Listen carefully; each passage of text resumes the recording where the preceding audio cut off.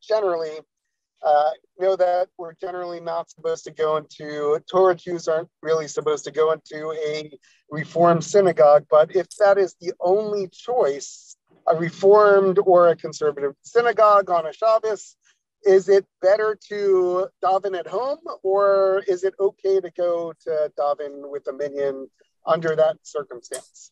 Better to daven at home and not to go to reformed or conservative synagogue because reformed, reformed as conservative is the uh, breakdown of Jewish religion.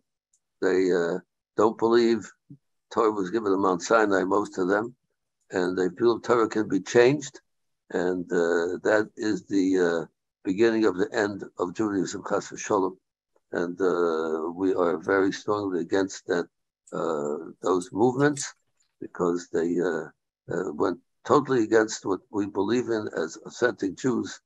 That Torah was given on Mount Sinai, cannot be changed by anybody, only by God Himself, who will not change it. And therefore, to go into a synagogue like that, which uh, represents false Judaism, we cannot show any uh, recognition of it. Who can I call?